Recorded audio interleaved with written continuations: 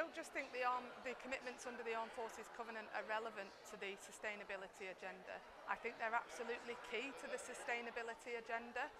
Um,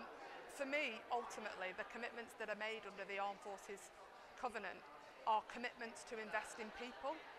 and every business. Without people, you don't have a business.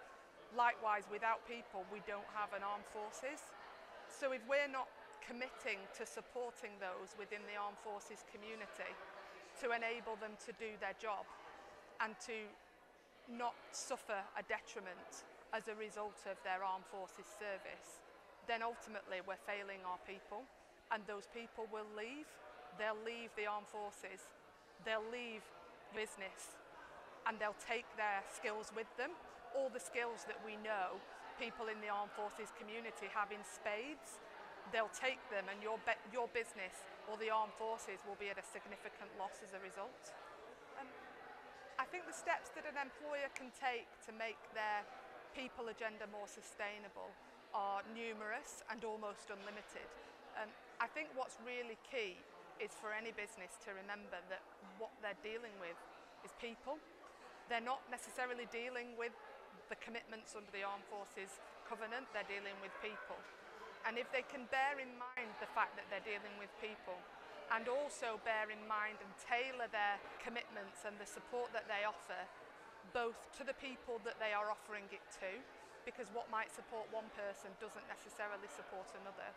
but also bear in mind their own objectives as a business their resources that are available what they can tolerate what they can't and thinking about it almost in the reverse from looking at what the benefits might be if they take a particular step